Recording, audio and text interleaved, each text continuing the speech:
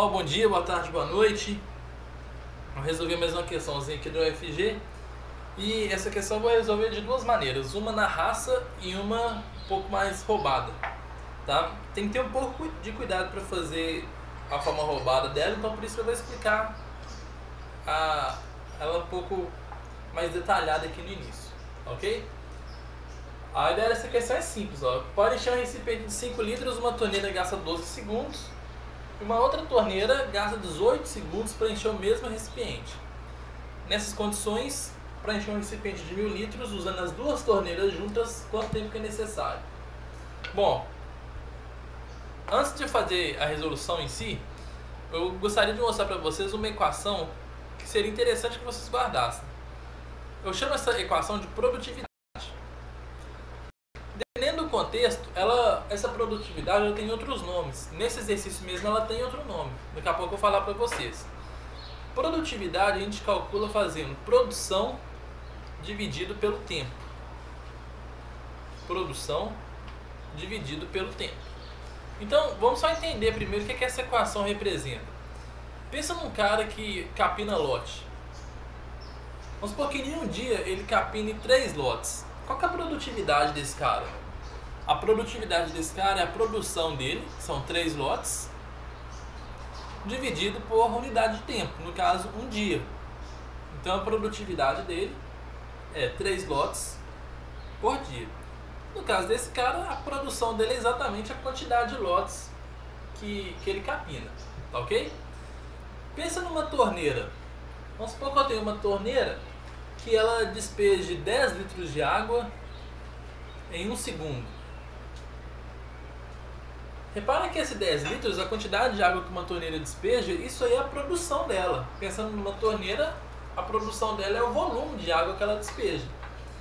Então a produtividade dela, no caso que seria 10 litros por segundo, tem de dar outro nome. Para a torneira, essa produtividade chama vazão. Mas a ideia é a mesma do caso anterior, se fosse um cara capinando um lote. Beleza? Então, como eu já falei com vocês ali, no caso específico de torneira, a gente vai dar uma adaptada nessa ação. Chamar de produtividade. Vou chamar de vazão. A produção de uma torneira dividido pelo tempo. A ação aqui é exatamente igual em cima, a como articular para Então, vamos resolver o problema agora. É, a resolução desse problema, ela se baseia no seguinte método. Nós vamos escrever essa equação de vazão primeiro para a torneira 1 sozinha, depois para a torneira 2 sozinha, e por fim, essa mesma equação, mas para as duas torneiras juntas, tá? Então, vai ficar assim. Pensa na torneira 1 primeiro. Vamos calcular como que seria a vazão para essa torneira, que estou chamando aqui de V1. A vazão dela é o volume que ela enche, no caso 5 litros, dividido pelo tempo que ela gasta para fazer isso. Ela faz isso em 12 segundos. Então a vazão dessa torneira é 5 sobre 12 litros por segundo. Nós vamos escrever essa mesma equação para a torneira 2. Então a vazão para a torneira 2 vai ficar o volume que ela enche, são os mesmos 5 litros, só que ela não gasta 12, ela gasta 18 segundos. Então vai ser 5 sobre 18 litros por segundo. Tranquilo? Daqui para frente, nós vamos fazer a mesma equação de vazão, mas pensando nas duas torneiras juntas. Então pensa, se as duas torneiras estão ligadas juntas, você concorda que a vazão total vai ser a soma da vazão das duas? Então nossa vazão aqui vai ficar 5 sobre 12 mais 5 sobre 18 é igual ao volume. As duas juntas eu quero que elas encham 5 litros? Não, quero que as duas juntas encham 1000 litros. Então o volume que eu quero que elas encham 1000 litros dividido pelo tempo. Nosso trabalho é só resolver essa conta. Vai ficar assim, ó.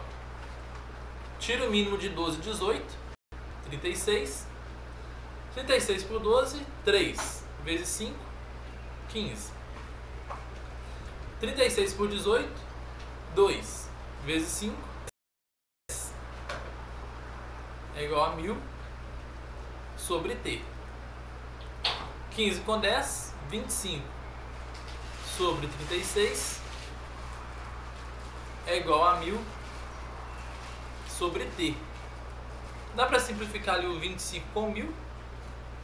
Você não tivesse essa percepção, era só multiplicar cruzado, tá? Que isso aí ia chegar. Dá para simplificar por 20 mesmo. Fica 1 e aqui fica 40. Agora sim, multiplicando cruzado aqui, nós vamos ter que o t é igual a 36 vezes 40,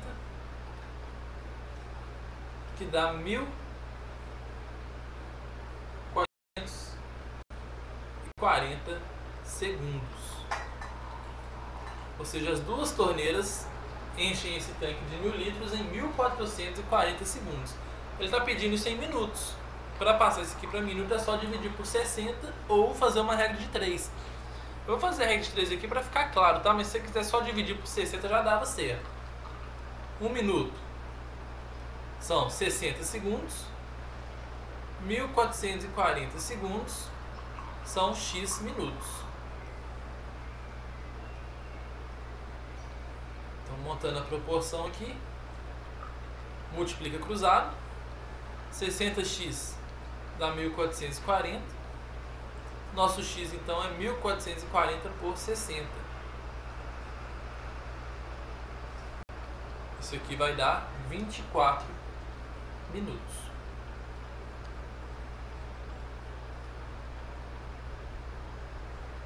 Letra B. Tá beleza? Agora, tem um, um jeito com a marreta que é um pouco mais rápido para fazer essa questão. Eu vou fazer na próxima tela aqui. Acompanha aí, ó. Lembrando, gente, que eu acho que é importante vocês saberem fazer também dessa forma que eu fiz primeiro, ok? Segunda forma de resolver esse exercício é pensar aqui no seguinte, ó. Imagina aqui que você tem aqui o seu recipiente com 5 litros.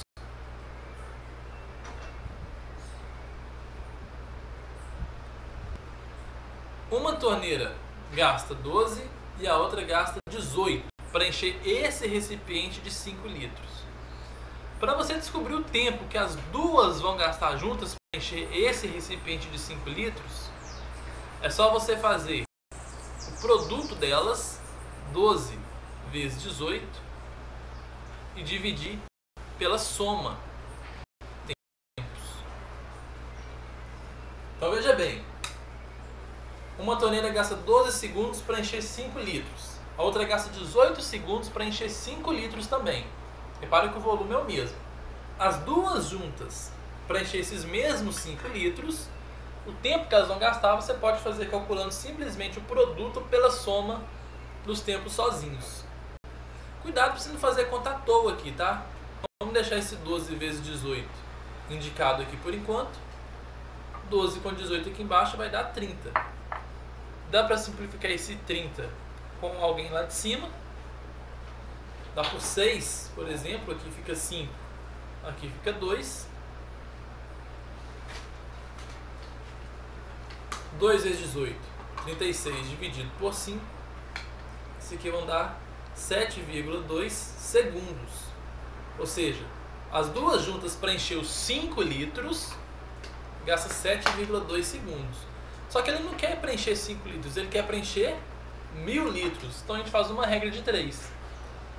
5 litros, as duas juntas gastam 7,2 segundos. E se for preencher 1000 litros, o tempo que elas vão gastar é x. Monta a proporção, dá para simplificar ali também o 5 com 1000. Por 5 mesmo, né? Aqui fica 1, aqui fica 200. E multiplica cruzado. 1 vezes x dá x, 7,2 vezes 200, 1440 segundos. A gente já fez uma conversão no exercício anterior, é só dividir isso daqui por 60 para passar para minutos. Isso aqui vão dar então 24 minutos.